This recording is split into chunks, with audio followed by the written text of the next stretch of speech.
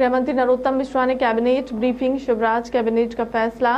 किसान और छात्रों को लेकर बड़ा फैसला। सिवनी में सिंचाई परियोजना के लिए उनतीस दशमलव सैंतीस करोड़ की मंजूरी। चंदेरी में सूक्ष्म सिंचाई परियोजना के लिए पाँच सौ अंठावन दशमलव शून्य पाँच करोड़ को मंजूरी। जनजाति कार्य विभाग के पैंतीस सीएम राइस माध्यमिक विद्यालय कल्याण विभाग के तहत विकास निधि में अलग अलग मद में राशि मंजूर की नवकार कार्य परिषद गुणवत्ता मध्य प्रदेश के लिए पद में संशोधन किया लोक परिसंपत्ति के बाद के तहत जूनी इंदौर की ज़मीन को पाँच करोड़ से 40 लाख की कीमत पर देने की सहमति बनी है। की बैठक आज विधानसभा के समिति कक्ष में माननीय मुख्यमंत्री शिवराज सिंह जी चौहान जी की अध्यक्षता में संपन्न हुई। जिसमें अनेक महत्वपूर्ण निर्णय लिए गए। आज का दिन किसानों को और विद्यार्थियों को समर्पित सा रहा। आज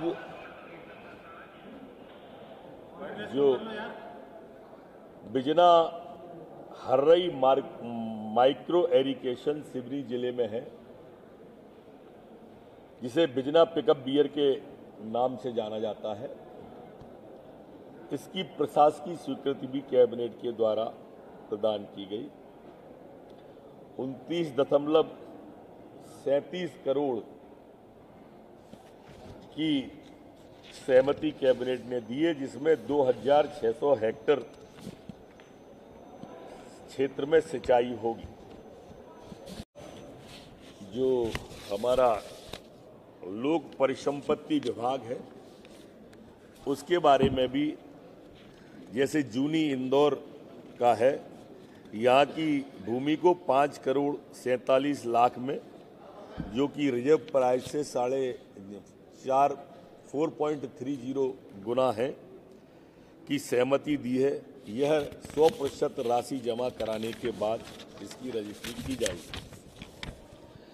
इसी तरह से महीदपुर बस डिपो उज्जैन।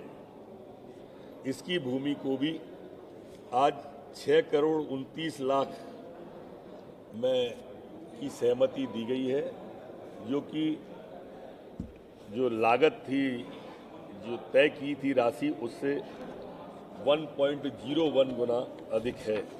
यह भी 100 प्रतिशत राशि जमा होने के बाद रजिस्ट्री की जाएगी। चंदेरी जो अशोकनगर ज़िले में है, वहाँ पर सूक्ष्म सिंचाई परियोजना की पुनरीक्षित प्रसाद की स्वीकृति आज कैबिनेट के द्वारा दी गई है।